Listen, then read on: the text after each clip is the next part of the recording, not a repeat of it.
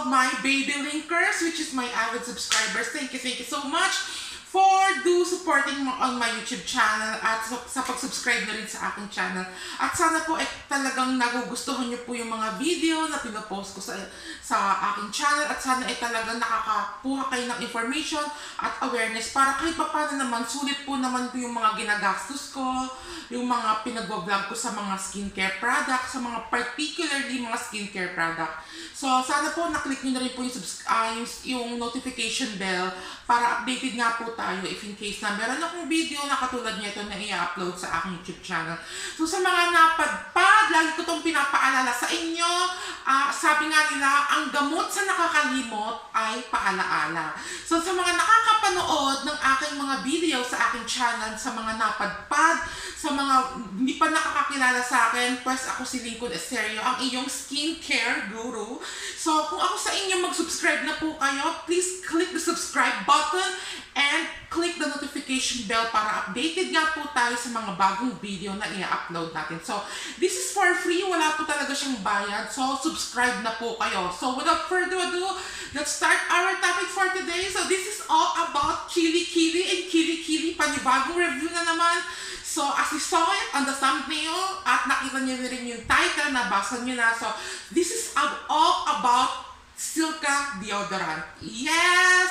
You heard it yeah, You heard it right and you see it right. So, just to give you a background, ngayon ko lang po nalaman na meron pa ng Silka deodorant. Akala ko ang Silka, sabon lang, sabon, ah, lotion, ah, astringent, meron pa ng deodorant kasi accidentally nakita ko siya sa Mercury Drugs dito lang malapit sa amin walking distance. Meron kasi ako hinahanap na product pero this de- deodorant caught my attention. So as a YouTube influencer, a skincare reviewer, sabi ko, Silka deodorant, meron pala. Sabi ko, ano kaya kung gawa ko ito ng review, di ba? So ngayon, bumili po ako ng Silka deodorant. Ito po yun, kulay blue yung binili ko. Kung hindi ako nagkakamali, nasa 49 pesos siya, 49.50 sa Mercury Drugs. At I mean, nakita po akong apat na variety nito. Yung isa kulay pink na ganito din. Ganitong ganito din, kulay pink. Tapos meron din silang Silka Papaya Orange, tsaka Silka Green Papaya. So, ah so sa mga susunod na ahead na ano natin, gagawin ko rin po ng review yung Silka Deodorant Papaya tsaka Green Papaya. So, but for now, gusto ko gawan to ng review. So, ah as I've said, binili ko siya sa Mercury Drug last week. Pero, nagamit ko na siya, nagpas na ng one week, alos mag Yeah, kalahati na lang siya oh. Halos na kalahati niya. So that's time, that's the time na gagawin ko na siya ng review para uh, sa mga taong gumagamit ng deodorant para ikapulutan po ng aral at information kung sakali bang eh suitable ba talaga eh kung lugi ba talaga tayo dito o hindi. Okay, so uh, again binili ko to 49.50 sa do sa 49.50 meron siyang 40 ml. So, kukunti lang yung laman niya, yes. Karamihan ng mga deodorant talaga, 40 to 50 ml lang. So, yung nakita kong mga Silka deodorant doon, lahat sila 40 ml. Pero, iba-iba yung presyo. Mas mahal ata yung presyo ng yung Silka deodorant na papaya, orange papaya, tsaka yung green papaya. Mas mahal sila, I think nasa 59, 58, mga ganon. So, this is 49.50 sa Mercury Drug. So, ngayon, napakasimple lang po niya. Okay, mamaya sasabihin ko po sa inyo kung nakatulong ba siya sa pagpapaputi, which is isa to sa mga kiniklaim ni Silka Whitening Deodorant. Sabi pa dito, whitens as early as 7 days. Kung titignan niyo po yung packaging niya, napakasimple lang talaga. Para siyang hindi siya babasagin na unlike the other deodorant okay lang naman siya, very presentable. Very cute, actually. Tapos, sa likod nga niya, meron siyang information. So, babasahin ko po sa inyo kung ano ba talaga yung kiniklaim niya itong Silka, kung ano ba yung kaya niyang gawin sa ating kilikili, at kung ano ba talaga yung mga benefits na makukuha natin, kung meron man, okay? So, Silka Whitening Deodorant. Whitening deodorant is formulated with AHA and vitamin B3 that helps whiten underarm skin.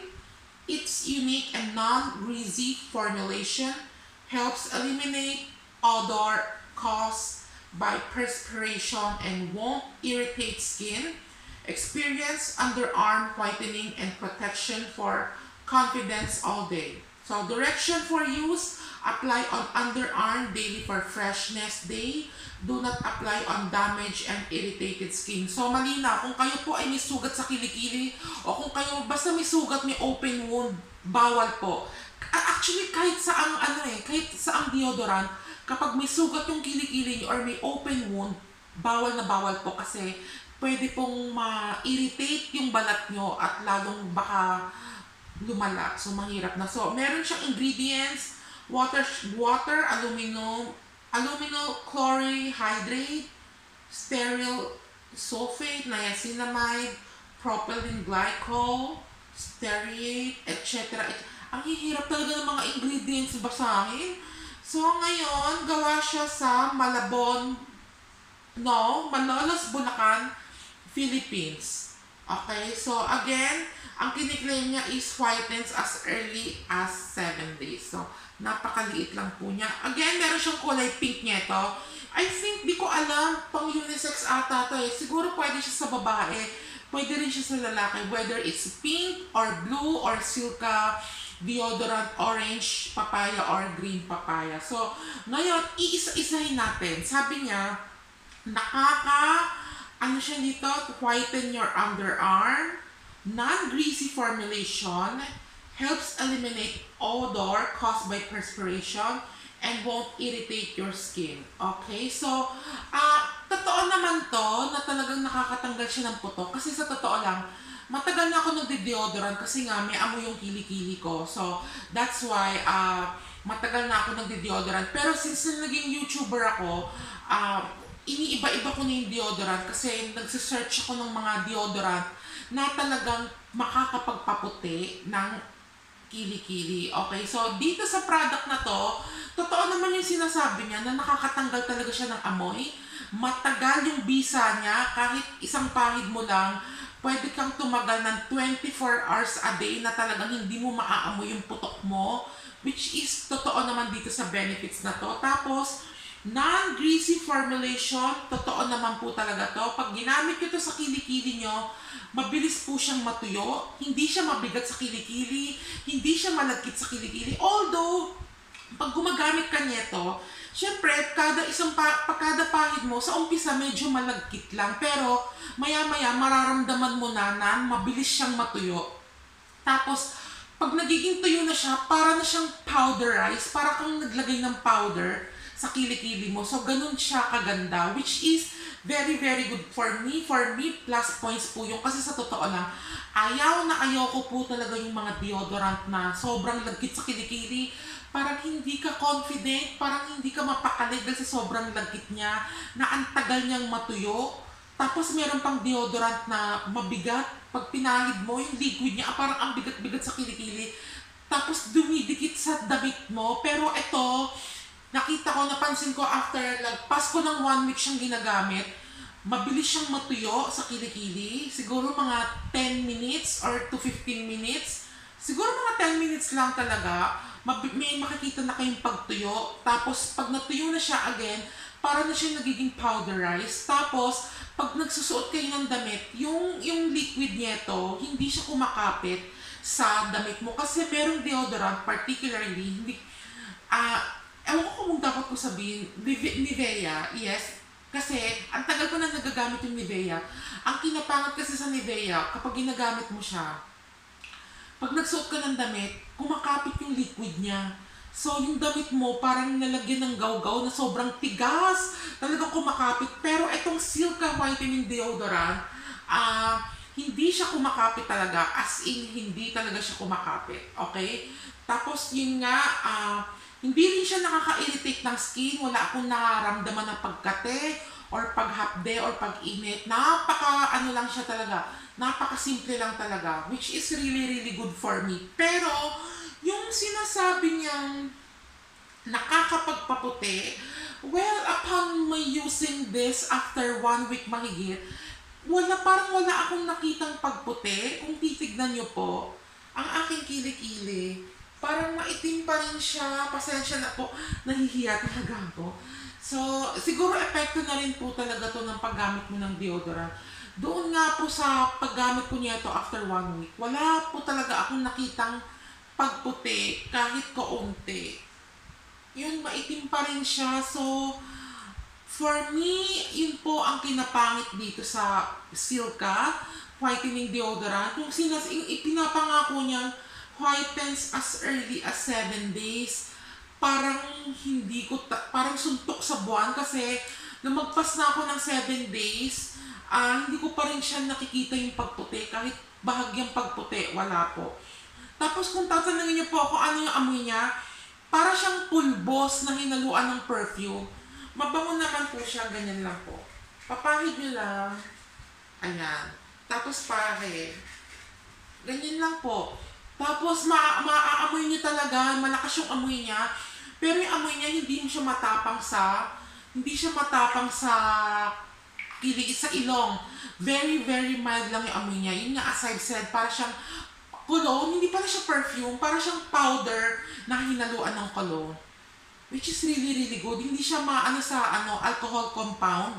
Saktong-sakto lang po talaga. So, for me, kung ako tatanungin nyo, kasi mas hinahanap ko pa rin talaga yung deodorant na ano eh, yung nakakapagpaputi ng skin.